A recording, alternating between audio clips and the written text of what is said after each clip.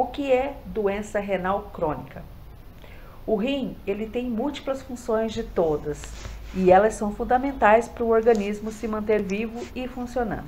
As principais funções renais é a excreção de produtos finos de diversos metabolismos, produção de hormônios, controle do equilíbrio do hidroeletrolítico, controle de metabolismo ácido básico e controle da pressão arterial.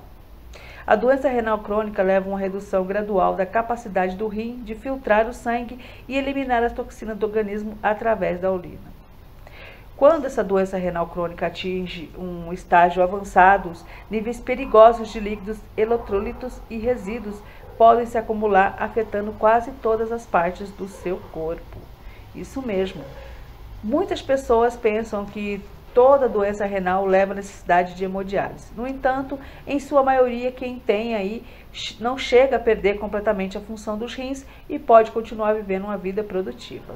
Pode ser necessário apenas alterar o que você comer e adicionar hábitos saudáveis à sua rotina diária para poder ajudar a progredir e proteger os seus rins. Porém, a doença renal crônica é frequentemente progressiva, o que significa que piora com o tempo e os danos aos seus rins causam cicatrizes permanentes. Por isso, o diagnóstico precoce da doença é fundamental para evitar as suas complicações. As complicações potenciais podem incluir o quê? A retenção de líquidos, que pode levar ao inchaço nos braços e pernas, pressão alta ou líquido nos pulmões, que é o edema pulmonar. Um aumento repetido no níveis de potássio no sangue, que chama de hipercalemia, o que pode prejudicar a capacidade do seu coração para funcionar e poder ser fatal. Doença cardíaca e vascular, ossos fracos e aumento do risco de fraturas ósseas, anemia, diminuição do desejo sexual, tá? Ou fertilidade reduzida, danos ao sistema nervoso central que pode causar dificuldade aí de concentração e alterações de personalidade e convul ou convulsões, diminuição de resposta imune, o que torna mais vulnerável à infecção, a pericardite, que é uma inflamação da membrana em forma de saco que envolve o coração, complicações na gravidez, danos irreversíveis aos rins, que é a doença renal terminal, eventualmente exigindo a diálise ou transplante renal para poder sobreviver. Nos estágios iniciais, você pode apresentar poucos sintomas da doença renal crônica, tá? Os sinais se desenvolvem lentamente, não são específicos da doença e só aparecem quando os rins começam a falhar.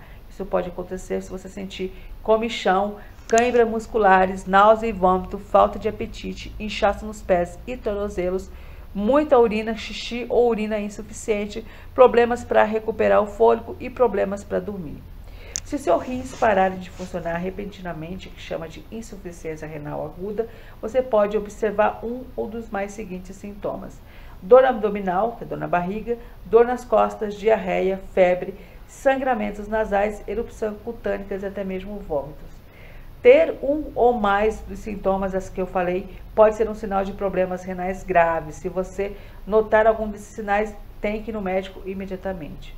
A doença renal crônica geralmente é causada por outras condições que já predicionam os rins. Muitas vezes é o resultado de uma das combinações diferentes de problemas. Pressão alta, diabetes, colesterol alto, doenças do aparelho circulatório, doença renal polísticas, que é uma condição herdada, que é o crescimento chamado de cistos e doença dos rins, bloqueios no fluxo de urina, uso regular ou longo é, prazo de certos medicamentos, tá? anti-inflamatórios, esteroides, históricos de doença renal, cigarro, infecções renais e inflamação nos rins. Em relação ao tratamento, não há cura para as doenças renal crônica, mas o tratamento pode ajudar a aliviar os sintomas e impedir que ela piore tá? Que a mudança do estilo de vida, medicamentos para controlar problemas associados, como a pressão alta, colesterol, a hemodiálise pode ser necessária, tá? O transplante renal também pode ser necessário, no caso se estiver muito avançada. E você também deve ser aconselhado a fazer check-up regulares para monitorar aí a sua condição, tá bom? Em relação ao diagnóstico, como eu falei anteriormente, geralmente não apresenta sintomas, até que os seus rins estejam gravemente danificados. Portanto, a única maneira de saber como seus rins estão funcionando é fazer alguns testes que pode ter os seguintes, é, teste de sangue, tá? que é a, a taxa de filtração glomerular é estimada, chamada de TFG, que é um sinal é, de qual bem seus rins estão limpando seu sangue. testes de urina, que é muito importante, verificação da pressão sanguínea. A pressão pode causar doença renal ou também pode ser um sinal de que seus rins não estão funcionando bem. Para a maioria das pessoas, a pressão arterial normal é 12 por 8, tá bom, gente? É sempre importante tá verificando a pressão, tá? Espero que tenha gostado desse vídeo. Gente, os vídeos não é para assustar, é uma maneira de prevenir se você tiver algum sintoma semelhante, se você não faz exames é, periodicamente, né? É, o chamado aí de, de, de, daquele exame completo, o hemograma completo, se você não faz periodicamente, é importante estar começando a fazer, tá bom?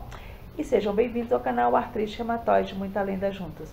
Eu sou a Renata, espero que todos estejam super bem com a graça de Deus. Já deixa aquele like bacana, comente, se inscreva e participe das nossas redes sociais, principalmente nosso grupo de apoio do WhatsApp, que eu sei que muita gente quer participar.